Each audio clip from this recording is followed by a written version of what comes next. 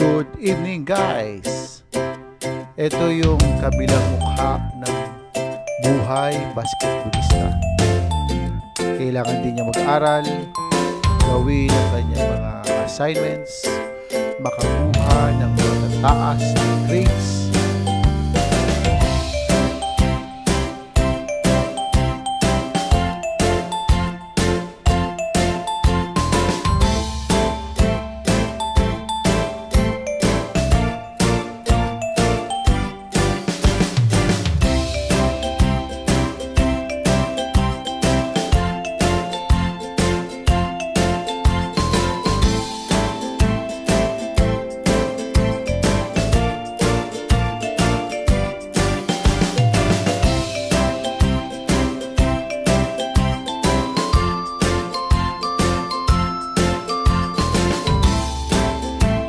this is a challenge to every uh, kids outsider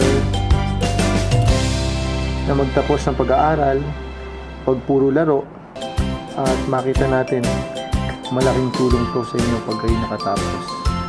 Nga professional. Bye bye Luis. Bye. Luis bye bye